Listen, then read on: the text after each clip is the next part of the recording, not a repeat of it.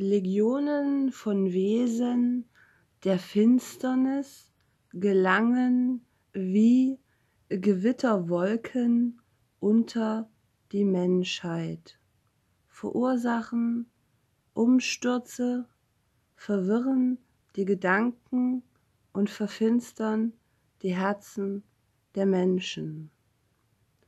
Von jener unsichtbaren Welt, die in eurer eigenen Welt webt und lebt, gehen Einflüsse aus, welche die Menschen heimsuchen, sei es in ihrem Verstande, in ihren Gefühlen oder in ihrem Willen und sie zu ergebenen Dienern, zu Sklaven, zu Werkzeugen, zu Opfern zu machen.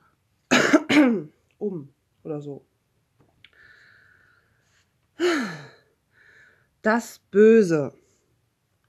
Ihr müsst euch auf einen schweren Kampf gefasst machen, denn ihr alle werdet gegen den Drachen des Bösen kämpfen müssen, dessen Waffen die Ruhmsucht, der Hass, die irdische Macht, die Zügellosigkeit, die Eitelkeit, die Selbstsucht, die Lüge, die Vergötzung und der Fanatismus sind.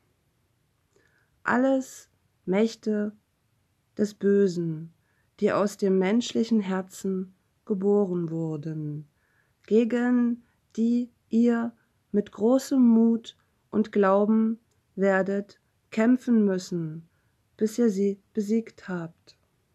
Bedenkt, dass das Böse großen Spürsinn hat, um euch zu versuchen, um euch zu Fall zu bringen, euch zu besiegen und sich eure Schwachheit zunutze zu machen.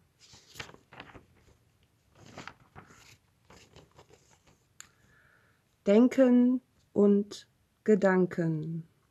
In jedem Augenblicke gehen gedankliche oder geistige Schwingungen von euch aus, aber in den meisten Fällen strahlt ihr Selbstsucht, Hass, Gewalttätigkeit, Eitelkeit und niedere Leidenschaften aus.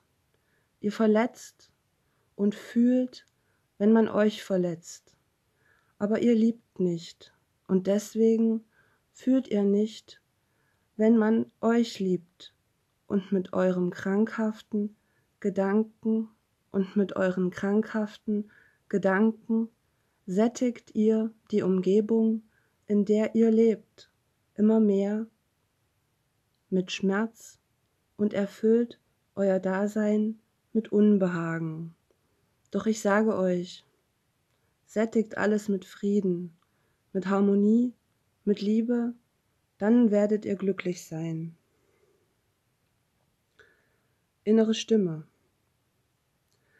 Anstatt sich aufwärts zu entwickeln und sich als Kind Gottes zu betrachten, sinkt der Mensch in seinem unwissenden Hochmut auf die Stufe eines tiefer stehenden Wesens, und wenn sein Gewissen von der Gottheit und vom geistigen Leben zu ihm spricht, bemächtigt sich seiner die Furcht vor der Gerechtigkeit Gottes und er zieht es vor, die innere Stimme zum Schweigen zu bringen und keinen Gedanken an jene Warnungen zu verschwenden. Materialismus Der Materialismus ist Tod, ist Finsternis, ist Joch und Gift für die Geistseele. Vertauscht niemals das Licht oder die Freiheit eurer Geistseele für armselige materielle Güter. Der Materialismus stellt sich der Entwicklung der Geistseele als ein ungeheures Hindernis in den Weg. Vor dieser Mauer ist die Menschheit stehen geblieben. Ein Materialist liebt nur das menschliche Leben. Da er erkennt, dass alles in ihm vergänglich ist, ist er darauf bedacht, es intensiv zu leben.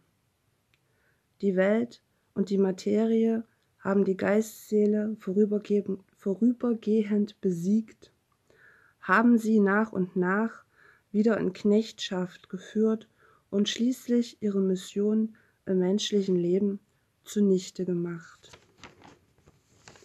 Ja. Der Einfluss der Gegenseite. Ihr sollt erkennen, welche Macht und Kraft Luzifer und sein Anhang, Anhang einsetzen, wenn es darum geht, die kraftvollen Offenbarungen der Geisterwelt Gottes zu verwischen und zu verdecken. Es ist so schwer, den Menschen klarzumachen, dass die Mächte der Finsternis hier auf Erden ja ihre unmittelbarste Gegenwart sind. Warum sind die Ungünstigen scharenweise auf dieser Erde und in der menschlichen Nähe? Warum? Weil sie Energie brauchen, um ihre schändlichen Werke an den Menschen an ihren Energielieferanten zu vollbringen. Die Menschheit kontrolliert nicht, was ihnen die ungünstigen Wesen gedanklich und gefühlsmäßig in Wort und Tat vorsetzen. Sie konsumieren nur und kontrollieren nicht, wer der Aussender dieser gezielten Energien ist.